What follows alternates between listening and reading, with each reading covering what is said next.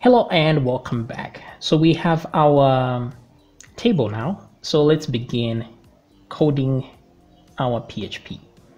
So I'm going to go to my htdocs folder and the folder that we created here, which is school, I will drag this folder into my Sublime text. That way I can view it over here quite easily. Let me close this. Now I have some text here. Now copy this text into your text editor and let's save this file in here. But before we do that actually, let me right click on school and create a new folder. So I'll say new folder. So we're creating two folders in the school folder there. One is public and the other one is going to be private as usual. So new folder, new folder, the other one is private. So the reason is for security purposes, so that we put all our private code in the private folder. Now the reason this is secure is because our website will be accessing the public folder, the private private folder will be one level above our website, which means no one will have access to it uh, just unless they are really good at what they do. Okay, so now that we have all that, let's uh, we can have this. So type this text here. This is our htaccess file. What it's doing is it's telling us to, um, we're telling it that we may rewrite our URL. And once we do that, regardless what's happening, uh, send all the data that is inside our query string in the URL that is to the index page. This way what we are doing is we are telling it that no matter what somebody types in the URL, as long as they are on our website, we only want them to access the index page, nothing else, just that one page. This makes it easy to control the flow of the application. This one here will ignore all files and this one will ignore all folders. So if it looks at the URL and it finds that there's actually a file that exists, it won't apply the rule here that we are doing it will just let it be. So this is good for your images and css files. So once you have this just uh, type it. Let's create a new file in the public folder here. New file. And let me paste that data. Save. So I'm saving in the public folder of our school there and I'll save this as .ht access.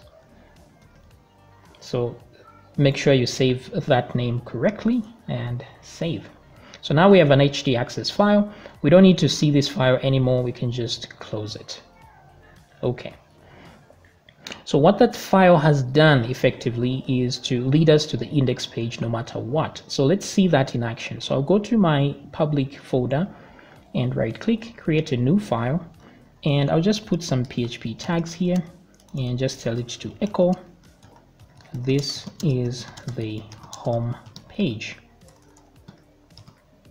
like so. And then I'll save this file right here as index.php save that. Okay good. So now I can go to my browser open a new uh, a new tab and here I'm just going to say school slash public slash index.php. Okay, so as you can see now, I'm accessing my index page. Now without the htaccess file, if I try to type something else here, I'm going to get file not found. But in this case, I don't have to type index.php. I can type some gibberish. And if I press enter, you see that I'm still accessing the index file. So regardless what I type here, it's irrelevant. I'm still going to be on the index file. Okay, so things are working well with our htaccess file. That is good.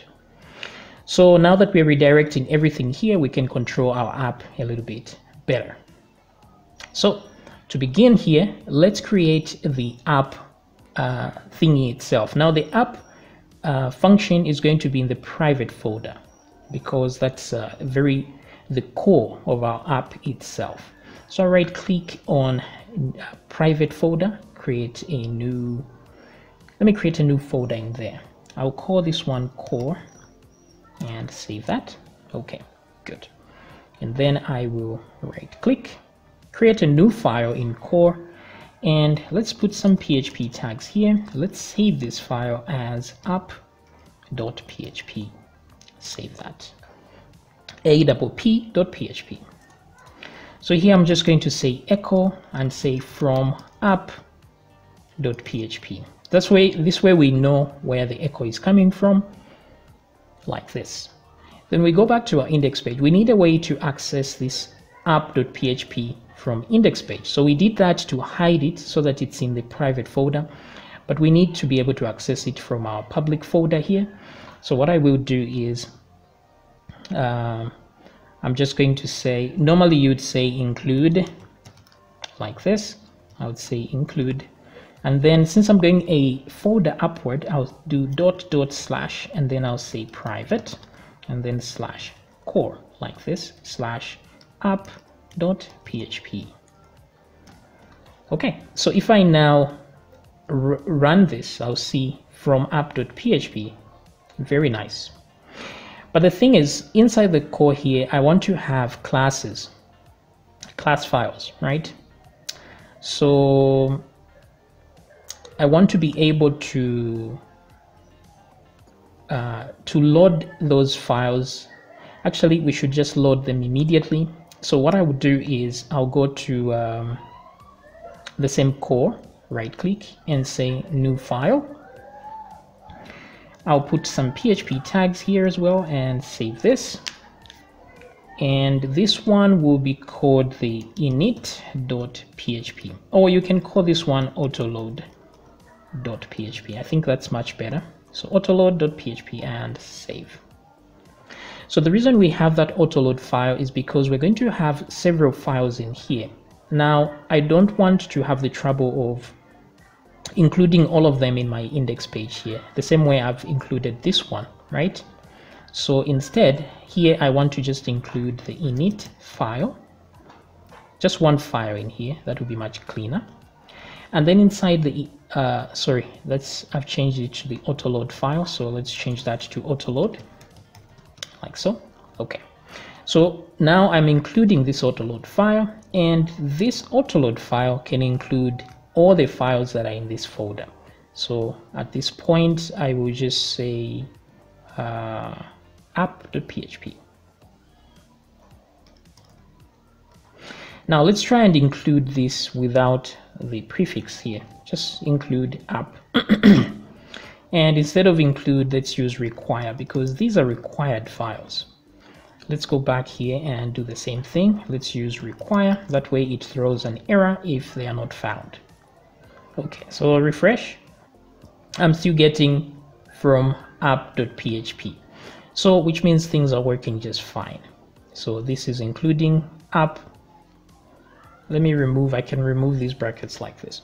So what this means is that every time we add a file here, we have to include it. So I'm going to add a database file as well. So I'll say database.php and then same thing here. I will right click, new file and just say, um, what will I say?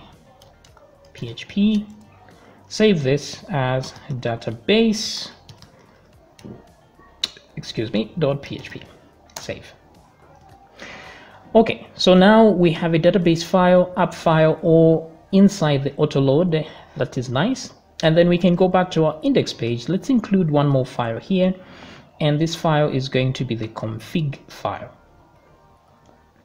Now, um, actually, let's just do it from here. Uh, database, where is this database? Autoload, let's just add it here because the config file is a sensitive file so we must hide it as well. I wanted to add it in the public folder but that's not a good idea. So config.php so let's add that file as well new file. Php save this config.php save. Okay so now we have all these files the config file the database and the app file and then we have autoload where we are including all of them so config should come first because it contains our configuration And then in the index file, we're just going to require the autoload, which will load all the other files with it. So for now, we can close the autoload. We can also close the, no, we can leave these ones open like this. Okay, so the configuration phase is done. This is all we needed to configure our app. So hopefully you have, uh, yeah, we right click and we refresh and no errors, which means everything is good. So we are good to go here. So in the next video, let's add some meat to our app.php file here because this is the main file of the whole application. I'll see you in the next video.